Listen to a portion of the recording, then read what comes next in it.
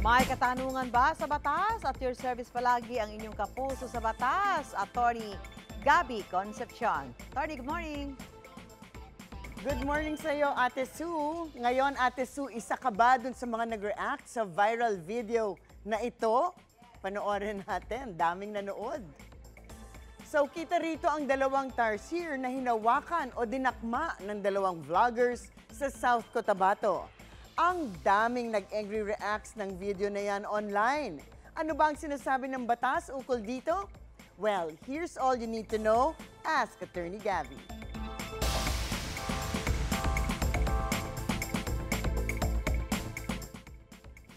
Hashtag Ask Attorney. Attorney, sabi ng isa sa mga vlogger, nasa farm sila ng kamag-anak nila nang makita ang tarsier, kaya hinawakan nila ang mga to para ilipat ng pwesto. May paglabag pa rin ba sila? Naku, 1997 pa po lamang idineklara na ng dating presidenteng FVR through Presidential Proclamation number 1030 na ang Philippine tarsier ay spe- specially protected faunal species ng Pilipinas at ipinagbabawal ang possession nito. Kaya't naipasa din ang Republic Act 9417 o ang Wildlife Resources Conservation and Protection Act kung saan bawal ang possession ng protected species. Depende kung ano ang exact rating ng tarsier. Halimbawa, ang maaaring penalty ay hanggang half a million pesos at kulong ng hanggang anim na taon kung ang classification ng isang animal ay critical. Kung ito ay endangered, 200,000 pesos at dalawang taong kulong naman. 10 days to 1 month at fine na hanggang 5,000 kung ito ay other threatened species. Eh alam naman natin na medyo threatened at delikado ang mga tarsier, kaya't kailangan talaga bantayan ng DNR to. At depende sa lokasyon ng pangyayari, maaaring may ordinansa din in place na ipinagbabawal ang paghawak, pagposes at pagmamaltrato sa mga tarsier. Hashtag Ask Attorney, ano po ba ang tamang gawin kapag nakakita po ng tarsier o iba pang protected species? Bawal po ba talagang hawakan?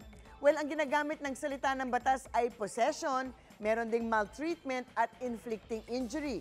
Pag sinabing possession ay nasa hawak niyo ito, once na tinanggal niyo siguro siya sa kanyang habitat, whether it's for a few seconds or for a longer period. Pero kahit na hindi nyo dinampot at kinuha, dapat siguro appreciate na lang tayo from afar dahil nga ang tarsier daw ay napaka-sensitive at delikado ng mga creature. Nasi-stress at nahaharas sila to the point na pag kinuha ninyo at nilagay sa kulungan, they have been known to commit suicide. Inuumpog nila ang mga ulo nila sa kulungan at dahil napaka-sensitive at delicate ng kanilang cranium dahil manipis ito, ay 50% lamang daw ang rate of survival ng mga tarsiers in captivity. So paalala naman sa mga vlogger natin out there, isipin din mabuti ang ginagawa at hindi lang basta-basta para lang may mai-content, di ba? Baka kasi imbis na rise to fame, mauwi kayo sa shame. So basta't usaping batas, bibigyan nating linaw para sa kapayapaan ng pag-iisip, huwag magdalawang isip, ask Attorney Gabby.